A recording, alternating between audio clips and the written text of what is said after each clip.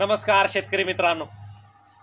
Agrowon Marathi YouTube चॅनलमध्ये आपल्या सर्वांचं हार्दिक स्वागत. मित्र आज ॲग्रोन मराठीतर्फे प्रामुख्याने जी चर्चा आपण करणार आहोत तर मुस्लिम समाजामध्ये मृत्यूपत्र करताना कुठल्या गोष्टीची दक्षता आपण घेतली पाहिजे या अनुषंगाने चर्चा करणार.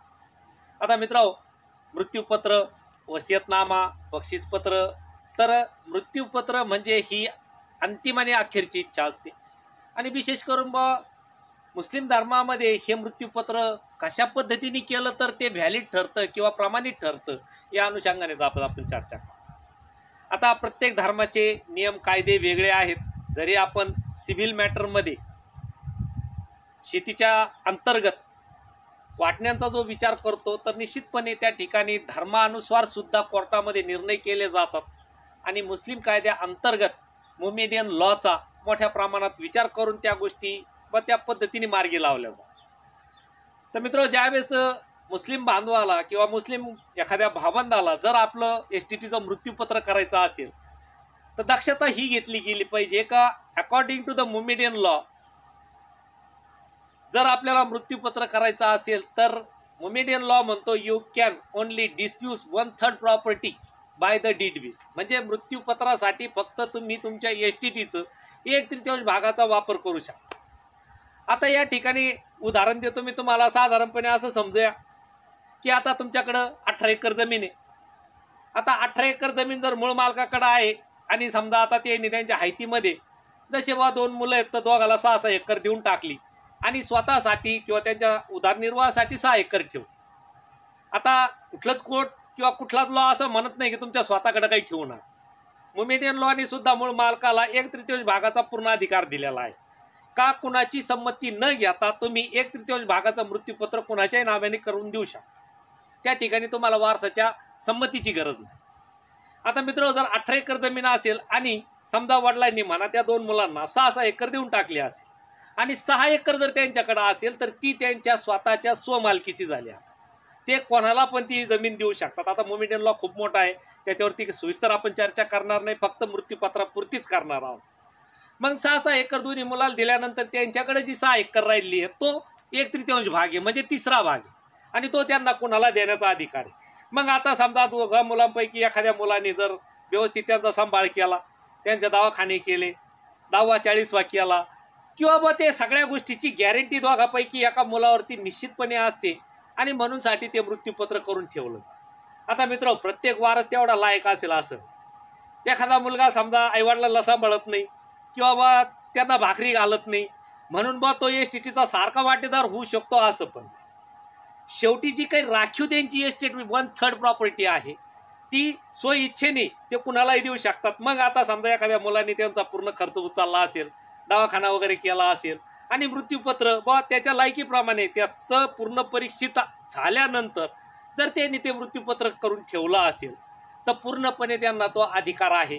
आणि विशेष करून अशा प्रकारचं मृत्यूपत्र हे कोर्टात सुद्धा चॅलेंज केलं तर मेहरबान कोर्टसुद्धा वुमेडियन लॉच्या आधारावरती त्या त्या वारसाला म्हणा किंवा त्यांनी जी काही इच्छा व्यक्त करून ठेवली आहे वन थर्ड प्रॉपर्टीची ती त्या व्यक्तीला मिळून जाते कुठली अडचण किंवा बाधा येत पण मित्र मृत्यूपत्र करताना आता मोमेडियन लॉ प्रमाणे घरात सुद्धा होतं दोन साक्षीदारासमोर होतं पण हल्लीच्या काळामध्ये रजिस्टर डॉक्युमेंट केलेला कधी पण चांगला ठरतो कारण हल्लीच्या काळामध्ये ऑब्जेक्शन खूप वेगळ्या वेगळ्या प्रकारचे लॉन्च होतात. बा तुम्ही रजिस्टर जरी केलं तरी अन्यवारच माझा बा आमचे वडील मेंटली फॅक्ट होते. त्यांचं स्वास्थ्य व्यवस्थित नव्हतं ते आमकंच होतं.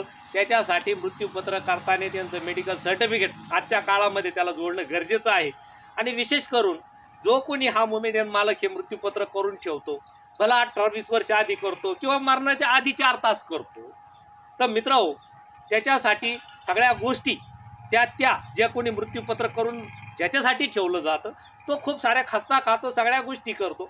पण आजच्या अप्रामाणिक काळामध्ये ब कोट साहेबांना काय माहिती आता? वडिलांची आमची सहा एकर जमीन राहिली होती त्याच्यात आम्हाला बराबरीचा हक्क मिळायला पाहिजे. पण जर त्या जमिनीचं मृत्यूपत्र करून ठेवलेलं नसेल तर मिळू शकतो. पण जर करून ठेवलेलं असेल आणि ती जर प्रॉपर्टी वन थर्ड असेल म्हणजे एक तृतीयांश असेल तर कुणाच्याही संमती विना ती प्रॉपर्टी कुणालाही देण्याचा त्यांना अधिकार. आता याच्या पलीकडे समजा मग पूर्णच्या पूर्ण आठ एकर जमीन आहे ती एकाच वारसाला द्यायची आहे ती मृत्यूपत्राने द्यायची. तर मित्रांनो त्याच्यासाठी मग बाकीच्या वारसांची संमती असणं गरजेचं असतं. कारण का सगळी एस्टेट तुम्ही विशिष्ट एका माणसाला मुस्लिम कायद्याअंतर्गत देऊ शकता.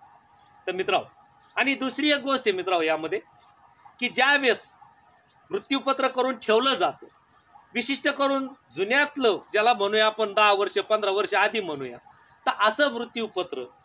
बदलण्याचा त्या त्या माणसाला मरणाच्या आधी दोन सेकंदपर्यंत अधिकार राहतो.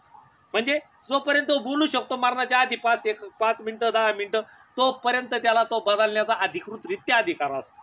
पण मृत्यूपत्र ज्यावेळेस आपण करून ठेवतो त्यावेळेस पहिलं जर करून ठेवलेलं असेल तर रजिस्टरमध्ये ती नमूद करणं खूप गरजेचं आहे का? मी असं एक मृत्यूपत्र करून ठेवले पण आजच्या काळात ती गोष्ट बुवा माझ्या मनाला व्यवस्थित वाटत नाहीये. म्हणूनसाठी ते रद्द करून हे मानण्यात यावं. तर सांगण्याचा मुद्दा हा की जे शेवटचं मृत्यूपत्र असतं ते शेवटी जर ऑब्जेक्टिव्ह जर झालं तर कोर्टात मान्य केलं जाऊ शकतं. आता मी काय वकील नाही पण जेवढी माहिती माझ्याकडे आहे तर या चॅनलद्वारे मी समस्त मुस्लिम बांधवापर्यंत पोहोचवण्याचा हा विचार केलेला आहे. तर मित्रांनो मुस्लिम कायद्या अंतर्गत मृत्यूपत्र आपण कशा स्वरूपात करू शकतो? तर घरी करू शकतो स्टॅम्प पेपरवर करू शकतो शंभर रुपये स्टॅम्पवर करू शकतो दोन साक्षीदार समोर करू शकतो. पण रजिस्टर समोर केलं कधी पण चांगलं.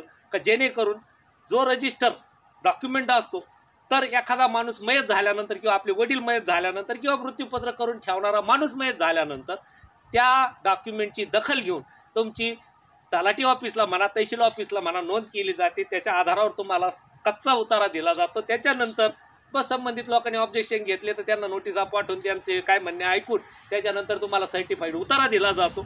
आणि याच्या पलीकडे कोणी जर कोर्टात जाऊन चॅलेंज केलं आणि हे जर नियम पाळले वन थर्ड प्रॉपर्टीचा जर नियम पाळला तर निश्चितपणे कुठलीही बाधा समोरच्या माणसाला ज्यांनी करून घेतलेला आहे किंवा ज्याला करून दिलेला आहे अशा माणसावरती कुठली बाधा येत नाही.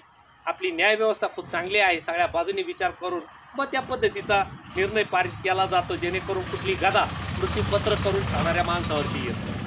तर मित्रांनो मुस्लिम कायद्या अंतर्गत मृत्यूपत्र कशा स्वरूपाचं करून ठेवलं पाहिजे किंवा कशा पद्धतीने केलं पाहिजे किंवा कुठली दक्षता घेतली पाहिजे हा जर व्हिडिओ तुम्हाला आवडला असेल तर निश्चितपणे लाईक करा शेअर करा सबस्क्राईब करा. बहुतांश भावन मित्रांपर्यंत पाठवा. राम राम.